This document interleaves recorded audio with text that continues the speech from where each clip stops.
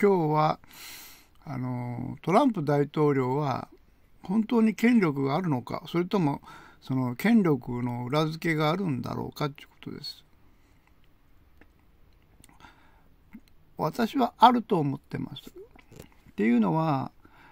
あの銀河連合がトランプ大統領をあの地球の代表者として指名したならばもうそれで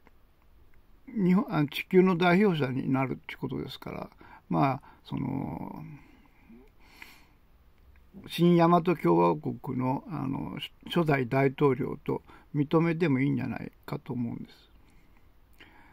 ではそれどうやって証明するかっていうとまあそれはちょっとできないですよね。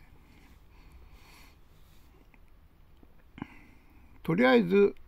そういうことだと思うんです。というのはその国際法よりも銀河連合の方があの上の法律なんだからそれに従わざるを得ないんじゃないですか。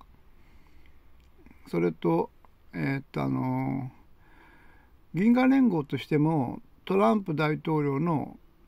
その人となりはちゃんと調べてそれで決めてるわけだし一度決まったことであるならば2年や3年で人が変わるというか代表者を変えるようなことはその宇宙連合としてはしないはずですよね。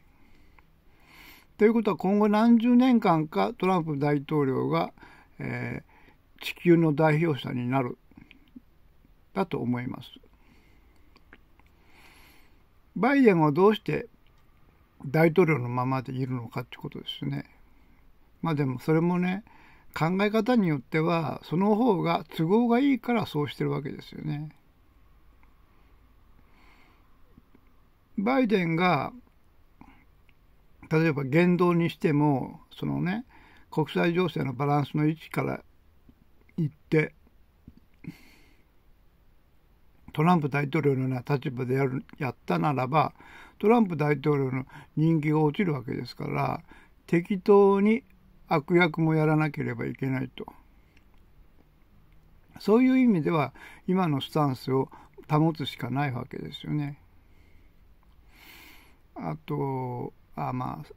次のあの動画で中国との関係をお話ししたいと思います。ありがとうございました。